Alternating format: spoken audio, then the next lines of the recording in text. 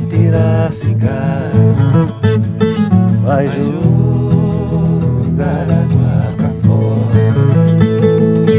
Quando chegar nos olhos de alguém que chora, quando chegar